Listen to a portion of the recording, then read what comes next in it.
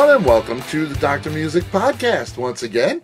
Uh, I'd like to give a special thank you to the subscribers to the channel. Your kindness provides the opportunity to have talented guests like the gentleman I have with me today.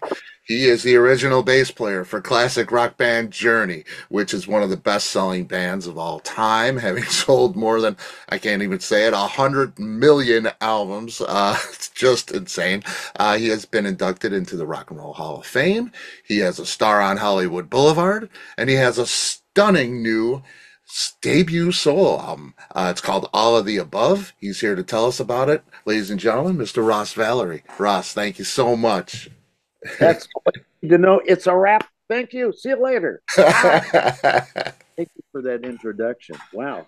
It's wow. uh, it's crazy. A hundred million albums. Uh, do you do you ever really grasp that? I do. I do grasp that. You know, but you know, everybody uh, in this day and age can count to a hundred million, but it's still pretty large. Anyhow, I've been blessed with a, a very long career uh, o- over the better part of 48, 49 years, uh, encompassing most of my life. And I am very thankful uh, for what I've been able to achieve with the other band members, current and past. Mm-hmm. And am thankful to the uh, Journey fans and those that have supported us over the years. I am blessed.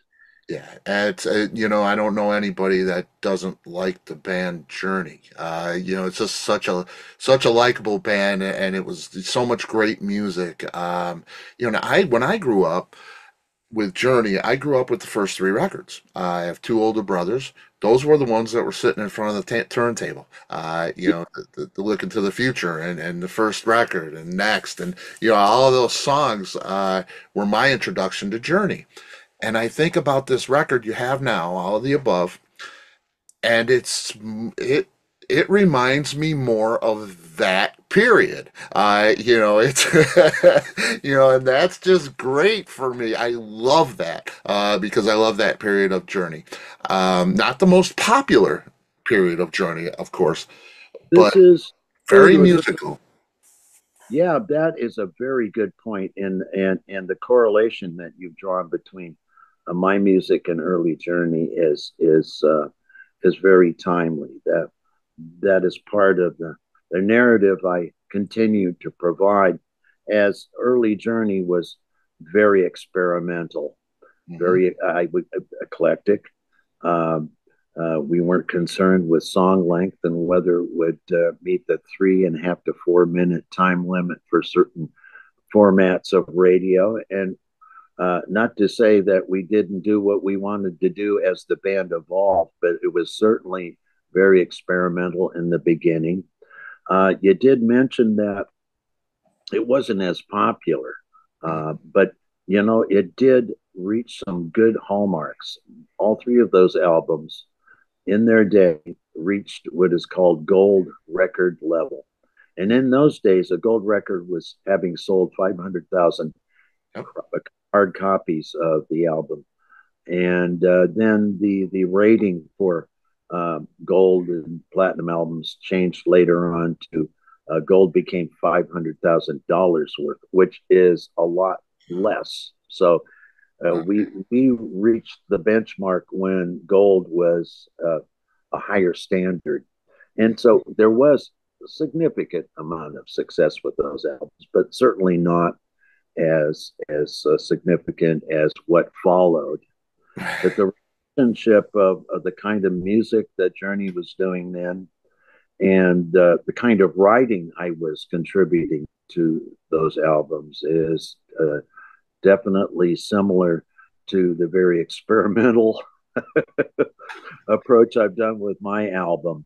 Uh, it, it's just this record. Uh, a journey, uh, you know, pun intended there. Uh, that time, uh, it, it's just there's there's so much to absorb. Uh, you know, I've listened to the record, you know, dozens of times now, and I still get something different each time. Um, but tell me, you know, you're I see you do this record, but I see you in Journey for you know almost fifty years. Um, doing AOR radio friendly rock, verse, chorus, verse. Uh, that's what Journey fans want. Um, you know, the, for for the most part, other than those first three records, it's it's rock, radio rock stuff. Um, not a whole lot of surprise, uh, not like this record. Uh, was there ever a feeling of you know why i guess the question is why the solo record that's so experimental now um, did you ever feel like you were held back in those years of you know you have all this stuff and you weren't able to get it out? That's a very good question. In fact there's some other journalists on the internet oh yeah well this is that wasn't his cup of tea and you know. No i was not held back at all. Um, first of all my background in music since the the day I was born has been quite varied, all kinds of influences. And, and the experience I had with rock and roll and popular music prior to a journey uh, allowed me a, a, completely open field to become uh, what I had with the majority of uh, Journey's life in popular music. Uh, the instrument I chose and, and it ended up playing early in, in high school is a bass guitar. Yep. That doesn't necessarily mean uh, that the music requires a virtuoso and, and having a bass guitar dominating the composition.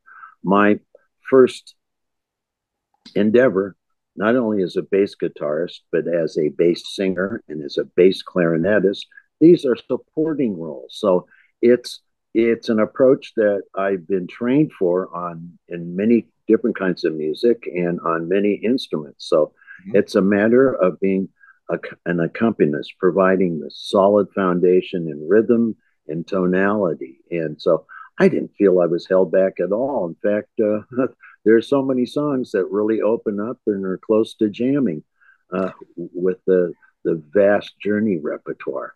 So um, I approached uh, my work with Journey as I, as a bassist, as I approach my own music here. Uh, you may hear in, in the songs from all of the above, on some occasions, on some songs, or at least on some sections, the bass guitar is tucked into the mix as another supportive instrument. So, to me, uh, as it was with Journey and it is with this music, it's not about being the featured player and trying to elbow my way into the, the front of the stage. My whole endeavor here is composition. Yep. My main motivation everything I've done, and I'll explain later at some point why it took so long, but that's another it my whole endeavor here is to be composing, arranging, and producing uh, my material. And the, the, the protocol is what does the song require? What does the song need? And that has been the same recipe with Journey. What does the song really need here? Yeah. And it could be a solid arrangement in that certain style. So, um, yes, I play uh, uh, in some cases uh, some flashy and and solo parts on on the bass or basses in these songs but likewise i'm also providing a supporting rhythm supporting tonality because that's what the song needs or that's what that certain section requires yeah, and I think that's a recipe for success uh, in any in any form of music. You you I think you have to play to the song. Uh, you know, even even the most uh, jazz fusionish kind of, you know, hey, look what I can do. It's not appealing if it doesn't play to the song.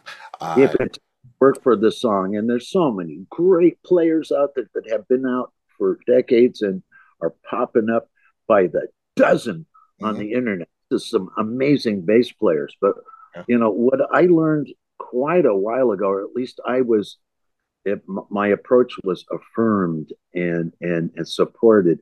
I remember listening to Victor Wooten's first album. Wow. Okay. Now, wow. talk a- about amazing virtuosity.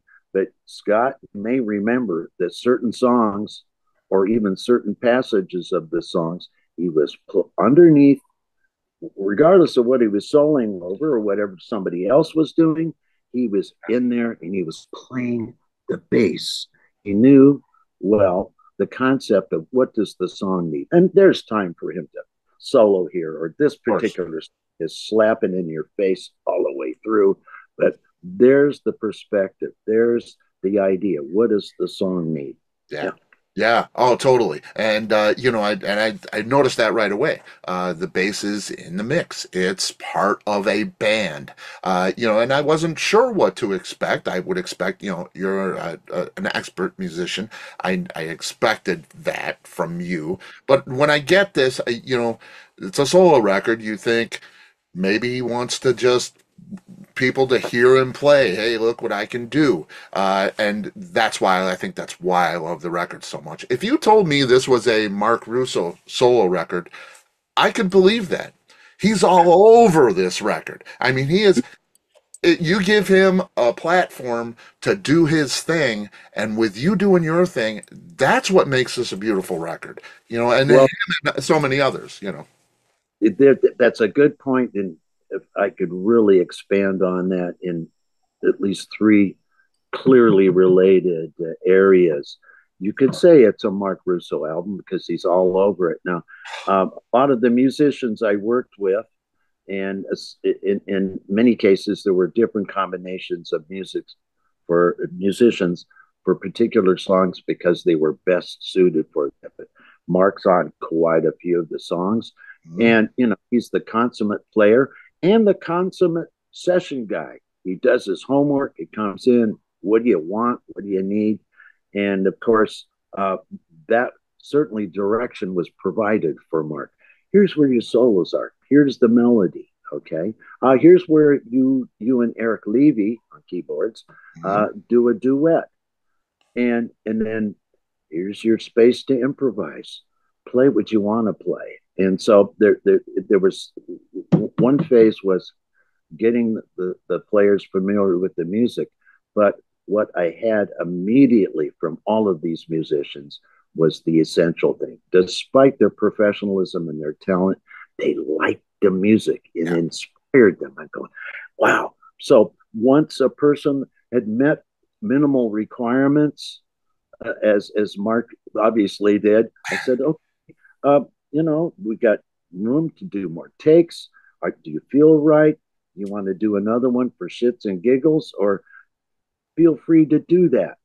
And that's what the what what Marc did, and what several of the of the players did as well. But I I approached my music in, in, in at, at yet another level. May not be anything new or original, but once they were done with their parts, I'd say, okay, what do you think? What do you feel about it?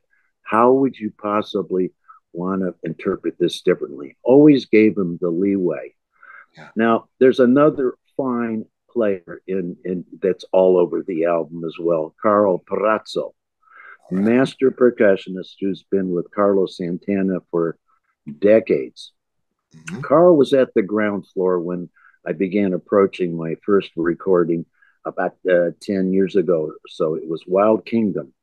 And I brought Karl in at that point, and he understood that this is not pure Latin, but we both agreed that that what I created could be on a foundation of traditional Latin rhythm. So he could bring all of his cultural and musical experience and actually lay down the real deal and I had that to work with. So it's kind of like I was painting. I had a foundation of something uh, purist and familiar to uh, people who uh, listen to Latin music or play it, and I was able to paint over that. But uh, again, with Karl, he brought in uh, Walfredo Reyes, uh, played the drums on. Amazing player, former Santana drummer, and it was like I was in the room with master players working on my song. It's like, oh goodness. But Karl played, has played, continued to play a, a, a, a, a greater part at another level.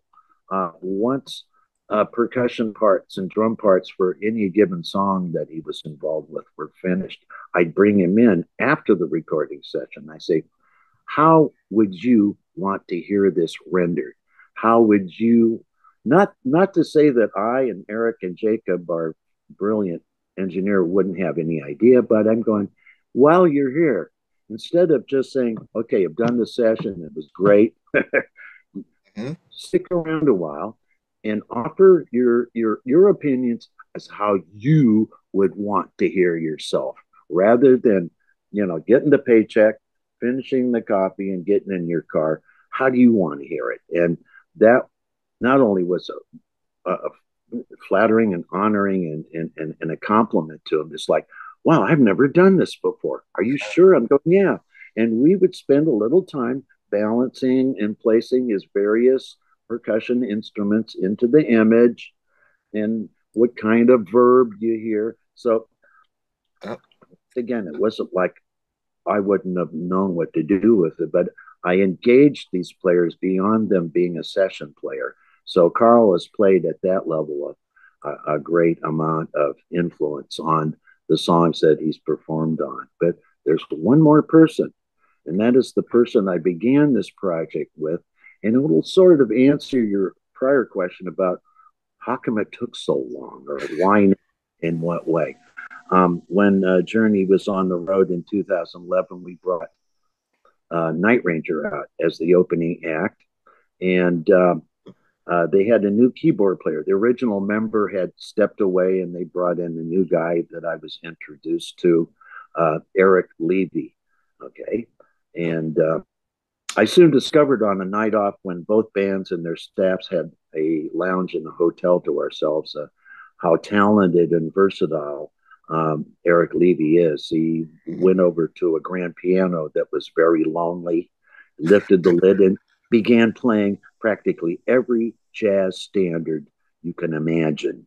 Wow. And I'm, wait a minute, this guy is like, this is well beyond what he's doing here. He's got a great gig to date. It's been many years with Night Ranger, and he has yeah. a band and he has fans, and people appreciate how he holds things together. But to listen to him play jazz standards, I'm going, who is this guy? So, long story short, I I brought him to a studio not far from where I am now, and brought in Karl Perazzo and Walfredo, and we had the beginnings uh, basic tracks for Wild Kingdom, and that's where it began. That's where I began with Eric and Karl as the percussion percussionist and advisor. But Eric and I have been working closely together on everything ever since that day.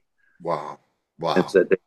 Wild Kingdom appears first. It happens to be uh, the first song we worked on. Uh, the rest of the songs are not in chronological order according to when they were recorded, but Eric and I are musical soulmates. Uh, he's been working with me for now for like uh, more than 10 years, maybe 12 years. And I've been throwing at him uh, on not a regular basis, but off and on when we're in our creative space here upstairs with our rigs and, and the ability to capture or document the, uh, the, the event. Uh, I'll throw ideas, some complete, some incomplete and those ideas may go by the wayside for months, and then I, you know, return to that idea. Eric remembers these things. Um, he's got a great set of ears, but even more importantly, uh, he's just sympathetic and inspired to react almost immediately to whatever I play. That's kind of scary. It's like, whoa, whoa. Like, I mean, he's honest. Like, okay, now what am I going to do? okay. So, it's a good thing. So what I'm describing is a long, really tight and uh, symbiotic relationship with Eric as uh, not only as a co-writer, but he helps with arrangements. But almost all the songs that are presented and with all of the big, all of the above begin with Eric and I. Wow. I mean, and and Wild Kingdom, uh, what an introduction to what you're doing here. Uh, just an amazing piece. Uh, so much, you know, the, there's African rhythm, there's Latin rhythm, there's, you know, just all kinds of, and it's bright and it's, it's, it's got a positive kind of vibe to it. It's just a glorious song to listen to. It's just wow. Uh, you know, that was just a great intro. I put that on and I thought, wow, this is really something. And then it goes from there. Uh, you know, it goes to different places. Uh, it's crazy. It it, it really is.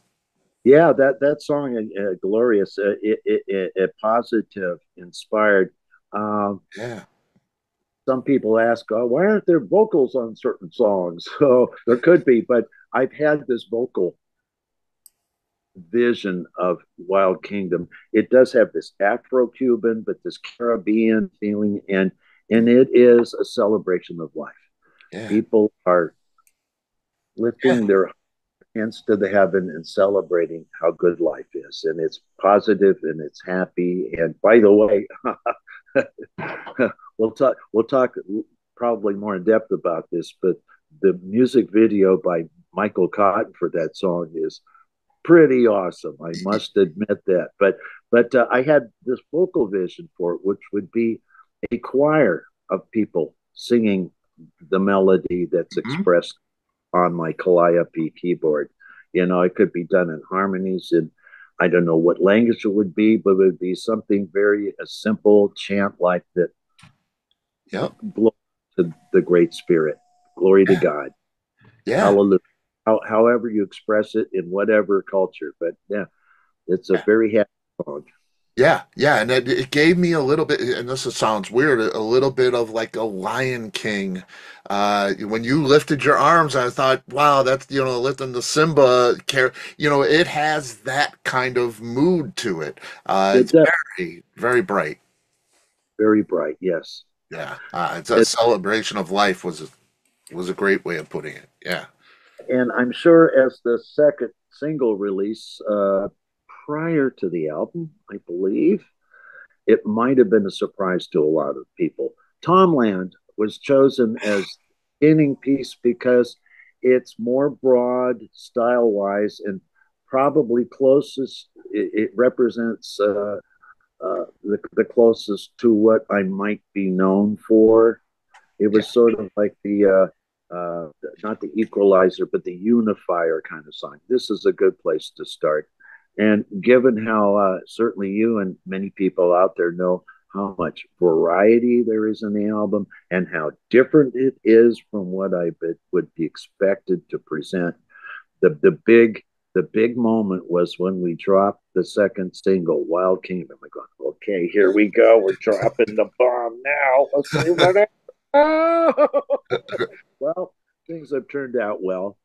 As the uh, the third song, which is similar, it it's a, a I would say it's a Brazilian influence song, Right. Windmill. But, but uh, then again, uh, uh, yet another bomb out of nowhere, and there's a great story behind Lowrider. What? Are you kidding?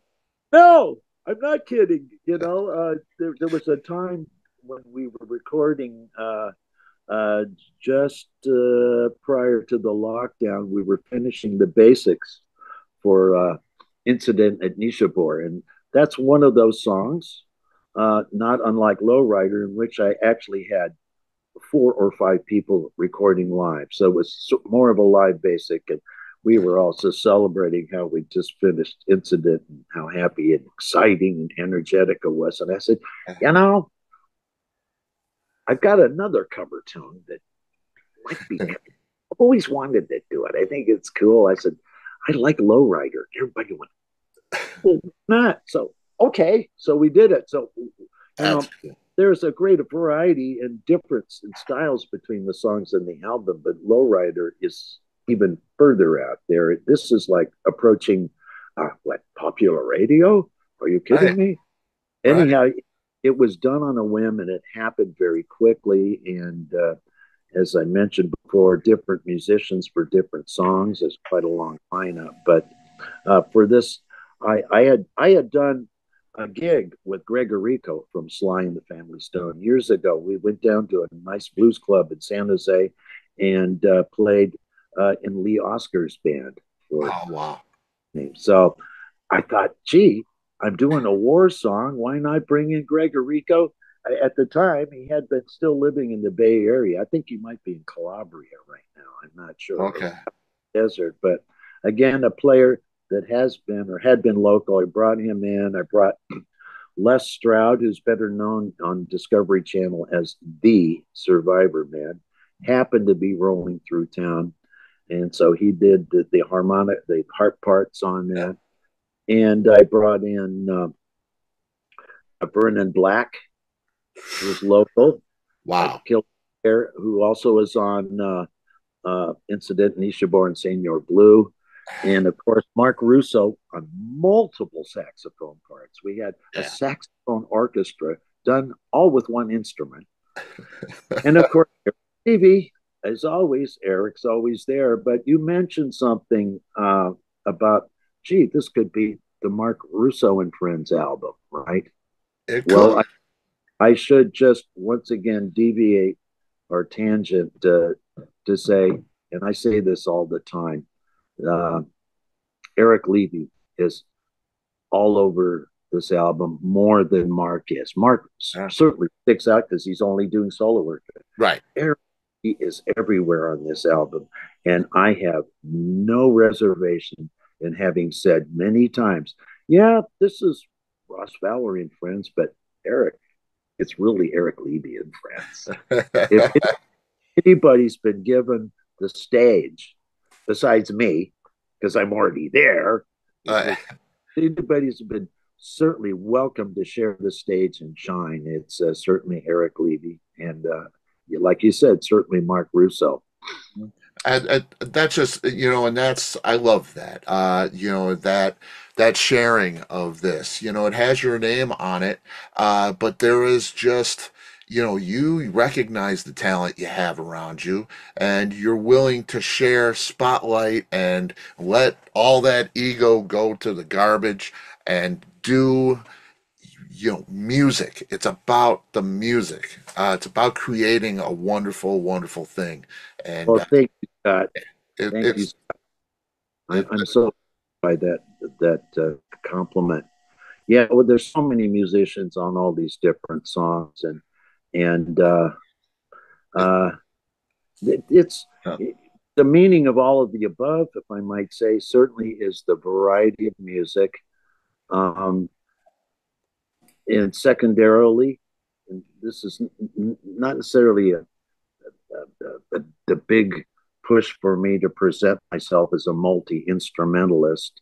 Uh, to me, it's like these songs either have had these instruments on them or they deserve them. But is, all of the above could mean I'm playing different things, but that's sort of secondary. But uh, the main meaning of this is my genre is no genre. Pick a card, yep. anything. Yeah. So, and, and, so in terms of multi instrumentalism, uh, there are two songs in which I'm playing two basses a supporting bass uh, on uh, Nightflower and, and supporting bass on No One Wins the War and Fretless, which nobody has heard me record before. Right. That's cool. Yeah. I, I, heard um, that. And I and and you play guitar on Windmill, yeah. right? Yeah, well, the best way to encapsulate this, there there are uh, uh, five songs and there are four guitarists. We have Miles Schon, son of Neal Schon, on mm-hmm. Tomland. We have George Tickner, original guitarist and composer with Journey from the early days on Nightflower. Then we have Vernon Black on Incident Nishapur and uh, Lowrider. And then I play all the guitars on Windmill. Now, there's a meaning to that, as there is uh, for some of these other songs. I wrote Windmill on guitar. Okay. Um, in fact, the version we're hearing is really part two, but I don't want to confuse anybody with titles right now. But the original was written on a nylon acoustic guitar in a 6 8 time signature, and it was a rolling, finger picking, romantic tune. Well, you know, there's nothing unromantic about a good Brazilian rhythm. You, of course. You know, a little more sexy, but no less romantic. Um, and such is the case there. Um, there are uh, six, I think, six tunes with seven tunes with six drummers. If I've got it, all the all the songs that have drums on them have different drummers. Prairie Prince on uh, Land. Steve Smith happened to be in town when long ago Night Flower was recorded with George. So Steve on drums there. Uh, we have Greg Errico on lowrider. We have Celso Alberti, who is a Brazilian drummer that happens to be local. He played on Windmill. Uh, we have Paul Spina on Incident in Nishapur and Senor Blue. Who am I missing? Anyhow, and then uh, amazing. Yeah. So there's a meaning to why the guitars. Well, I wrote the song uh, "Windmill" on guitar, so I went forward and played all the guitars. No matter, uh, despite the fact I hadn't played guitar in a while, I had to work up sections by section to get it to get it down, and so that's the meaning of playing guitar. It's not, oh, I'm going to play guitar. No, I wrote the song there, so it made sense. And the same with Wild Kingdom. I wrote that on a DX7 Yamaha keyboard with a Calliope patch and had been jamming that song uh, across uh, decades and finally completed. So that's the core of it. Man. So in, in, in, the case of Windmill and Wild, uh, and Wild Kingdom, I recorded the basics with each of those instruments, keyboards and guitar. Uh, bass came last on both of those songs, and in, in both cases, it's like I hadn't even thought about the bass. Of course, there, of course, there will be bass. So for having played the song for these songs so much over the years on those instruments, when it came to bass, it pretty much fell out. So I, I love that. I and you know I saw that you played guitar and I was like I was so it was it was so nice to hear you pl- play a play a guitar. Uh, yeah. you know and uh, you know that's for me all of these things make it the Ross Valory solo album. Uh, it, it is really your a statement um, of of who you are as as a player, as a person, as a you know a consummate musician uh, to bring in all of these players and let them play. Uh, you're not holding back. Uh, you know, this is a, they like, Nike. They like it. yeah. It was, and that had to be a really satisfying thing too. Uh, you write these pieces, and you have these brilliant musicians come in, and they appreciate what you're doing, and that's that's really great. And, and likewise, uh, we were talking about you know Karl Perazzo and Eric Levy, but all these other fine musicians that have come into this studio under this roof. It's like, wow, yeah. these are the cats, and I get to play with them. That's truly yeah. my honest, humble. It's like, oh, you mean I'm in charge? so, but it's all about composing, and that's what people are getting to hear, yeah. uh, uh, as well as how they've been recorded and how they feel and how they sound. It's it's about the composition, and that relates to what's been piling up uh, on the back shelf or on the back burner for years. And some people have the impression, Scott, that okay, this is his statement. That's it.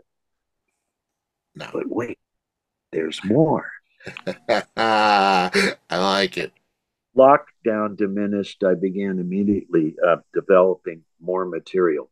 Um, my whole motivation it was to finally get around to finish what I started. And this first album is certainly a good offering of having completed compositions that have been waiting. Well, there's more that have been waiting uh, that I'm continuing with and having a lot of fun with. And if you want to call it a cover tune, yes, I'm covering yet again more artists, uh, and maybe in some ways it may be seen as or heard as abstract. Oh, look at that! I already, I would like to think that the music that I presented so far is a really big spread, big horizon. Yeah. You never know you're going to hear next. Well, um, I've got more for the next batch, which will uh, come out subsequently. So um, I'm warning everybody now the horizon, horizon the horizon, the horizon will get even broader. And uh, just stick with me. And I'm sure there's some people that don't care for this song or that song. Whatever. There's, I think there's something for everybody there. Um, I think so too. Yeah. I'm going to continue to experiment and enjoying uh, what I'm doing really for the first time in a long time as a writer Yeah. and a painter Yeah. and an impressionist. Man, that's awesome. Uh, tell me, is there a- anyone that you asked and and they didn't want to be part of the album? No, Any refusals? No. no, it was uh, w- the advantage I had, and this is over several years. I had the advantage of being in the right city where there is such a broad mix of musicians Yeah. who are known and great players. And many of them uh, ha- still live here. A few have moved away. Wally Walfredo moved to Cincinnati to be with the love of his life. Beautiful. And uh, I think, you know, uh, Greg Errico was like, I think might be in Calabria. He bought some property there. So, but otherwise, uh, all of these people are or have been in the local area. And it was a matter of timing when they're off the road, when they got free time to do some sessions.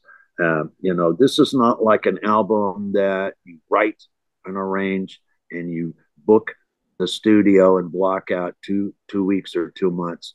This is a matter of years, uh, uh, only by its natural course of things. This this is the way things developed. I can't say that w- what you're hearing in all of the above was that's I mapped it out. I just continued to write and complete and arrange. And, and, and to answer your question, I fortunately had the availability of many local great players. And no, nobody refused me. That's It- awesome. Sometimes one of the people, Karl goes, you know, I, I I'm getting back from Santana, but I've got these other uh, salsa gigs to do. But uh, I've got another break, maybe two weeks, and you know, um, what did Orson Welles say in that commercial? No fine wine before it's time. Yes. And yes, this is uh, over, you know, many years and we get a fine wine for sure. Uh, I want to ask you about Tomland. Uh, a couple questions. Um, the title, Tomland. Uh, what's the inspiration behind that? Well, I must admit that uh, the the the title and how it may relate to the music, and then the music video by Michael Cotton, it can be a little mysterious and it's like a little vague. Tomland is written in memory of Tom Size. Uh, I'm in I'm in an area uh, in the East Bay, San Francisco, San Francisco East Bay, and I've always had a studio of any level of of development, and usually had it in the vicinity of Tom Size, uh, my dearly departed friend, mentor, and uh, recording engineer, and uh, uh, Tomland was the name of his production company. Beautiful. Beautiful. So um, uh, Precious. it's just a dedication to him. And, and I think if there's a lyrical meaning to the song, you could say that there are two people having the conversation. Uh, the, the, the meat of the verse and the B sections is wondering, wandering, maybe questioning life to a certain extent. And the more powerful the parts of, of the song is the other person responding with resolution. Here's the answer. This is definite, and this has meaning and power. So that's again a little vague, but somewhere in there is uh, uh, missing Tom and uh, honoring him and uh, seeing him in the big sky. Man, what a what a great way to honor a friend. Uh, just a beautiful, beautiful song. Uh, and Miles on on the on that song, an amazing solo. Um, you know, and and we know, we all know the whole thing with, you know, that you've you and Neal have had your issues and and all of that in the past. Uh, you know, this is his son on the record playing his ass off. Uh, just, Yeah. I mean, just crazy. Uh, Wow. you know, how does how does that happen, and and what's your relationship like with Neal now? Well, Neal and and and, and I and, and Jonathan, we parted ways about three years ago. So Right. I can't say there's a relationship. You know, we we had some differences, Mhm. and we very quickly reached what uh, technically a mediated settlement. We ironed out our problems, uh, agreed to settle, and now we've all moved on with our life. Good. But uh, in the meantime, the recording with Miles was done in 2016 when he lived in the Bay Area. He's been in Los Angeles for the most part uh, for several years. So some of these talented people have moved away, but I know where to find them. Yeah.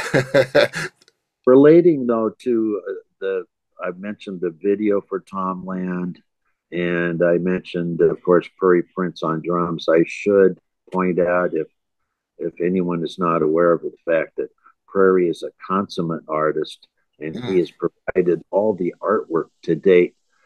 Uh, on you would uh, see, however small the thumbnail is, album artwork by Prairie Prince that I collaborated with him on, and he's also done the artwork for the title, the still, the still part of the beginning of every uh, video. He developed, he did all the lettering and the design of the title cards for my four videos. Man. I should go further to say that one of his oldest friends and partner in art, Michael Cotton, uh, uh, they worked together for years in developing the the visual imagery for the tubes, costume, set designs, and of course, Michael actually played synthesizer with the tubes as well. Yeah, I was two original two original members of the tubes. Yeah. In my search for videography and animation and anything but performance oriented videos, I wanted to do something very creative that related visually to the song. I was very fortunate to have reached Michael Cotton, and he has provided to date er, what uh, people will see on my YouTube channel, mm-hmm. which are four music videos. Uh, Tom Land First, Wild Kingdom, I think that's pretty special. Uh, Windmill, a very exotic Brazilian feel, and Lowrider. If people don't know, on the summer solstice, which was the 20th, uh, the video for Lowrider dropped onto YouTube. It is pretty awesome. I know involved with this, but there's a, there's a part of me that can step back and go, "Oh my god!" Yeah. Anyhow, if people are wondering where they can hear uh, the songs or the album or how they could see the, the the the videos on my YouTube channel, it's very simple. RossValory.com. Yes. One word valory.com.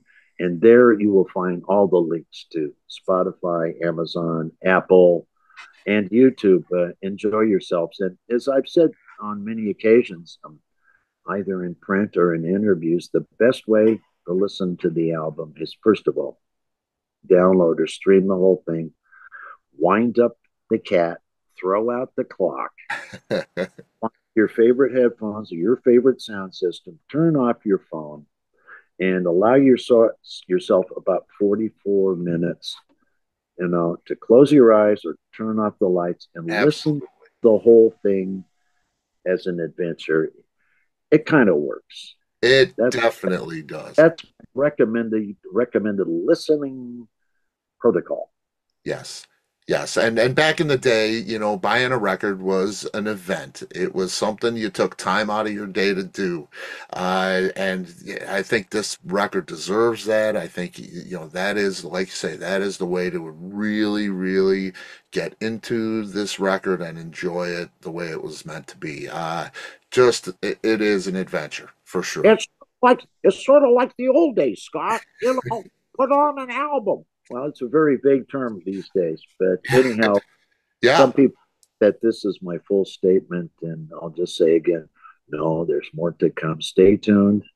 And uh, Michael Cott has is in the process of finishing uh, uh, the videos for the remaining songs. So videos will be released through this uh, through the season, so and then more after that, Scott. Man, that is so cool. And and you, you mentioned Prairie Prince. Uh, a big part of your life story almost really. Uh, you did the demo, yeah. right? Yeah. Uh, mm-hmm. for the first Journey record. Uh, you know, you have Mouthman with him. Well, how can we forget that? Can't forget Mouthman. And Mouthman I mean, still lives. Mouthman is got some good prospects and of course Prairie helping with the design of the original prototypes, and like you mentioned, Prairie being uh, at he was the first drummer with Journey yeah. prior to our our uh, CBS contract and prior to Aynsley Dunbar having mm-hmm. joined the band. So yeah, Prairie and I go back years. Um, yeah. I should mention that um, uh, a great project that I'm very proud of having been involved with was when through Prairie, Todd Rundgren invited me to join his live recording project. It, it was it's called Second Wind and it is available. Um, we recorded. Uh, Todd had a veritable orchestra of which I was a part, and we recorded live for five nights at the Palace of Fine Arts in San Francisco. And he released what I think is one of his finest albums. Yes, I was involved, but part of me can step aside and say it's a, an amazing record, and people should look for it and listen to it. Awesome. Yeah, we'll have links to all this too. Uh, you know, all the videos and, and you know, gotcha. fan and everything else. well, thanks so much, Scott. Yeah. Uh, I, I have to ask you about Touched um, on the record. Uh, you know, slower bass driven track. Um, yeah you know, and and is it, that's a fretless, uh, right? I mean, it sounds fretless, uh, but there is there is like a sub. It's not. Wow, that is amazing. Uh, but there, the the subtitle to it uh, is what really is intriguing to me. It's part, uh, which is L I, uh, which I'm thinking is fifty one in Roman Roman numeral two. It's touched part two.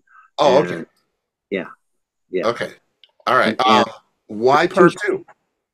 Well, there you go. There's two stories behind that. Um, part two, well, well, part one is yet to be recorded, but it is in the works, and it is similar to Wild Kingdom, fast tempo driving.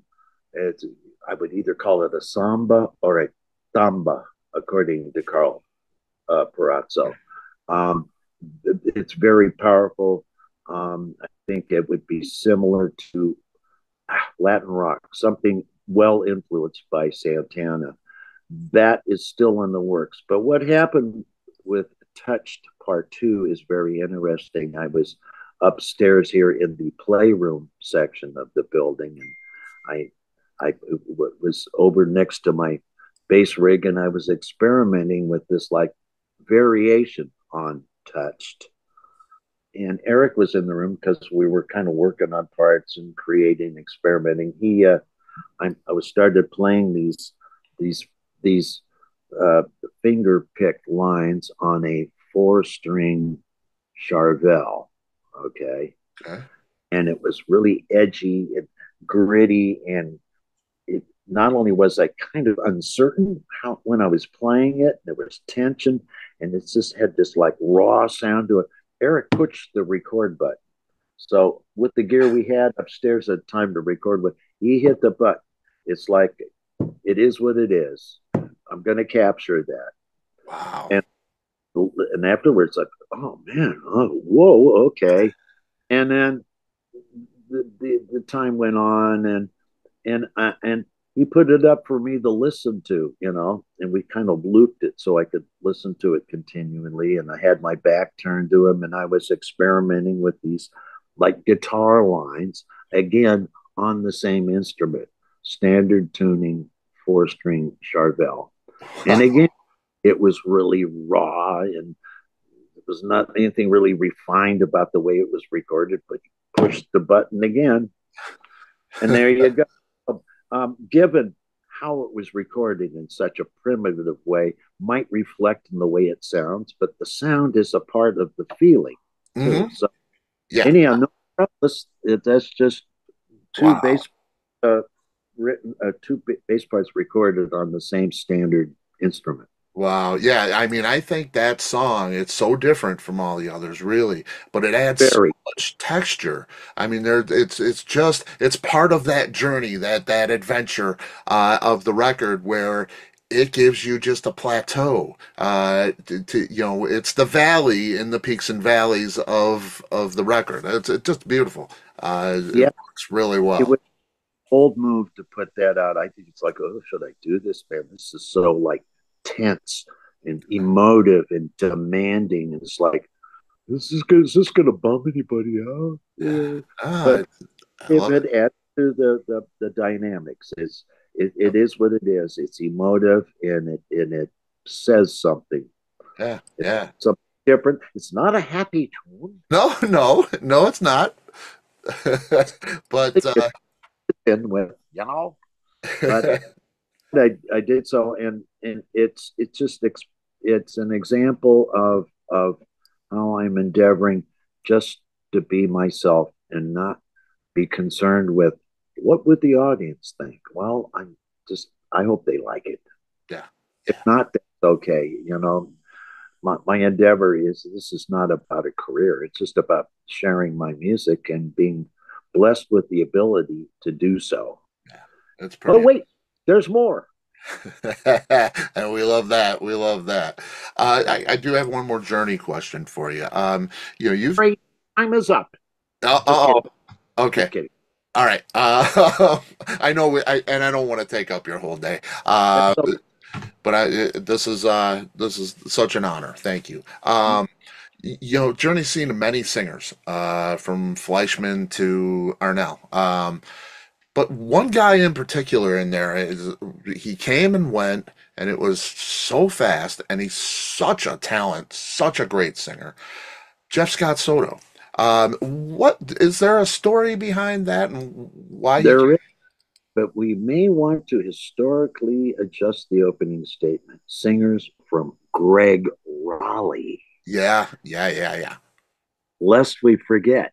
Yes, Jeff Scott Soto is fine singer and a great entertainer. He really is. Yep. And uh, Steve Augeri's voice completely failed on him. And on short notice, we had a tour to do, and Jeff stepped up and and I did everything he could do to fill someone, uh, several other people's shoes on short notice. You know, a, diff- a different approach, a different approach to entertainment, a different kind of voice, but uh, I think he dealt, did as well as he could, and and hats off. Yeah. Um, uh, his stay with Journey was rather brief when it came to um, uh, writing and, and and arranging new material. Uh, the writers, uh, Jeff and uh, uh, Neal and and Jonathan and Jeff, it just Jeff's style was very different from what we had or have believed the Journey signature vocal approach would be. So that just that just didn't work out. I've kept up with Jeff. though. Um, Yeah. they're a band that I go see every two or three years. Uh, uh, uh, Trans Siberian Orchestra Yes. Amazing. Do the sort of multicultural Wow. uh, religious specific uh, Christmas show every year. And Jeff has been with them for years. He does a great job as a bass baritone. Can you imagine? He's really a bass baritone, and he was doing Journey. That, that yeah, says something for like bringing it. Yeah. yeah. He is something special. He's been on the show. He, he practically has a cot in the room back here. uh, he's done so much, and yeah, you than I do. Say hello. uh, yeah, absolutely, absolutely, yeah. Uh, it was great to see him doing those things. Um, have you thought about writing all this down? Have you thought about uh, a, an autobiography, proper autobiography from birth to now? No, I haven't. You know, it it, it hasn't crossed my mind. That's There's got to be, there's got to be so many stories, right? Well, there are. There Yeah, are. But then again, there's a matter of confidentiality and privacy and consideration of other people's lives and and and their endeavors. You know, yes, uh, just I, it's never crossed my mind to write a book. yeah, yeah, yeah. I, I think interviews that accompany the music, like this, a great interview, Scott, that shall suffice as semi autobiographical. Yeah, yeah. Well, your music, uh, this record, Uh, all the above is is an autobiographical. It, it, it really is. It's it's it because it. I think it it. At least I feel you through this music. I feel this is what you're where you're at and what you want to be doing and what you want to share of yourself. It finally got around to doing something. Yeah, it's pretty cool. It's pretty cool. Yep. Is, Yep. is, is there something else in your life, uh, you know, a, a bucket list type of thing where, you know, something you've always wanted to do but haven't had a chance yet? Um, world travel. Uh, my wife and I enjoy world travel. Uh, I must admit, we certainly have many places in common that we would like to see. Yeah. Uh, but I've got a bucket list for places I don't think my wife would be interested in. Nepal, uh, the pyramids, if Yeah. they'll let, they'll let me in there, but you know, things like that. But a bucket list, I, I think probably the primary overriding bucket list is to be finally doing what I'm doing now musically. Ah, that's Yeah. awesome to hear. That is awesome to hear. Uh, I'd like to see a little more of the United States rather than, you know, I've yeah. flown over uh, Grand Canyon probably a thousand times. Uh, like to see it on the ground. That's not to say I haven't seen some good sights, but there's some things like that that might be nice to see, which don't involve a lot of uh, travel.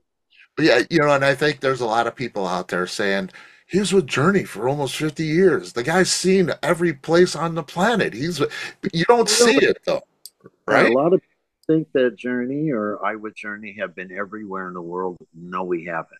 We Yeah. haven't. I have yet to see Central or Eastern Europe. Wow. Um, yeah, But see, but but when you you know when you're in the band and you're you, you get off the get to go. plane, you go to the venue, you get back, and you're done. Uh, you don't re you're not ever really there, right? It's rare. A lot of it, usually in, in overseas travel, involves uh, asphalt, concrete, air, uh, transportation, uh, hotel, dressing room, sound check, performance, uh, and, and sometimes maybe a day or so to just adjust to the time zone. Uh, traditionally, the, band at least had when we went to Japan, and, and we did a lot. We did go to Japan quite often. We did get a little more time there to adjust and see a little more of the country, which I'm grateful for. I, you know, there you go, bucket list. I really, really like to go back to Japan and go out into the country. Wow. Beautiful. Um, I just uh, took my wife to the UK. Uh, we just got back uh, last weekend, and we spent, you know, a better part of a week in London. There's a lot to see.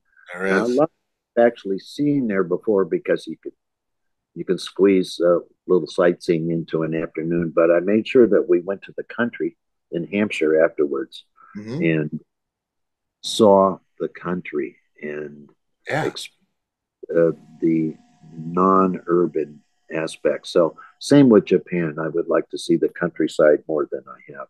Yeah. You know, where people actually live and, uh, you know, lead their lives, you know. There you go. Yeah, Pretty cool. Ross, it has been a blessing to have you. Uh, so honored. Thank you so much. This has been great. Rub on, wipe off. And thanks so much, Scott. I agree. This has been a good, informative, and friendly interview. Uh, we know where to find each other, don't Yeah. we? Yeah. Okay. Yeah. Yeah. Let's uh, let's keep in touch and and anything you got, please. My door is always open to you. Great. Well, everyone, go to my website, rossvalory.com, and you'll find whatever you need to see or listen to. Yep. And that's enough of my uh, gratuitous promotion. and I'll have more for you. Don't worry. Links to everything in the description. Uh, check out everything that Ross is involved in, please. Scott, you can stay. All Take care now. All right. you too. Thank you so much, Ross. Bye bye.